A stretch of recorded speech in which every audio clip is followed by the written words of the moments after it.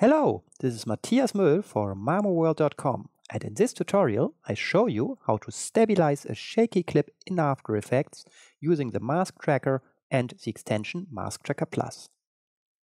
After Effects already comes with a great stabilizer on board. The Warp Stabilizer stabilizes most clips easily with a single click. But sometimes you need more creative control.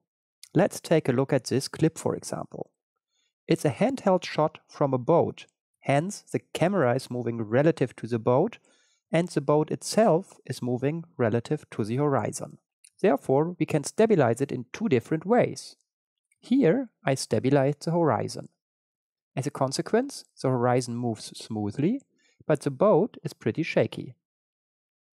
Here is another variant, where I stabilize the boat instead of the horizon. As you can see, now the boat moves smoothly and the horizon is shaking more again. In other words, the first variant feels more like the camera is flying smoothly in the air, like a drone that moves independently of the boat, whereas the second variant feels like the camera is on the boat.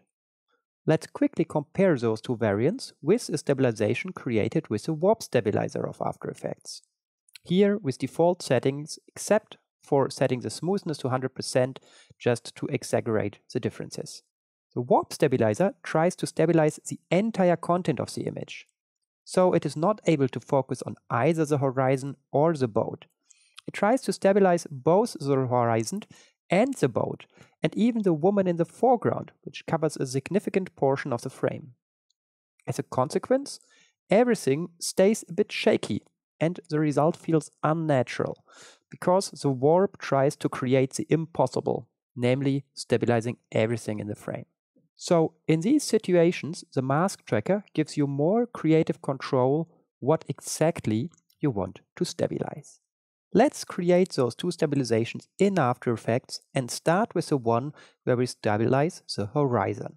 I have already created this mask here, which includes the part of the image that we want to be as stable as possible. I included the horizon and also some clouds as they move with the horizon and offer a nice texture for the tracker. Notice that I've set the mask mode to none, such that still the entire clip is visible. We select the mask, right click and choose Track Mask. Then we make sure the tracking method is set to position and rotation, since there is no scaling going on in this shot, and we start the track. Once the track is finished, we open Mask Tracker Plus, which you find at the bottom of the window menu once it is installed. We simply select the mask and click Load, such that Mask Tracker Plus extracts the tracking data from the mask. You can even select several masks simultaneously and Mask Tracker Plus will combine their movement into a single track. Now we choose the Stabilize function, make sure our footage layer is selected and click Apply. Now we choose to smooth the movement and click OK. Now our layer is stabilized. Mask Tracker Plus also created this null layer, which contains various effect controls to refine the stabilization. Let's increase the smoothness of position to 370 frames to make the movement even more smooth. Finally, we increase the scale here about 120% to get rid of the borders. And this is the result with a stabilized horizon. To stabilize the boat instead of the horizon, we would need to do exactly the same steps except that we would track a part of the boat instead of the horizon, as I've done in this composition here. That's how easy stabilization with the mask tracker is. Track the region that you want the stabilizer to focus on, load the mask into Mask Tracker Plus, and apply the stabilize function. And if you ever have issues getting an accurate track with a mask tracker, alternatively, you can use the Mocha tracker and Mocha Import Plus with a very similar workflow.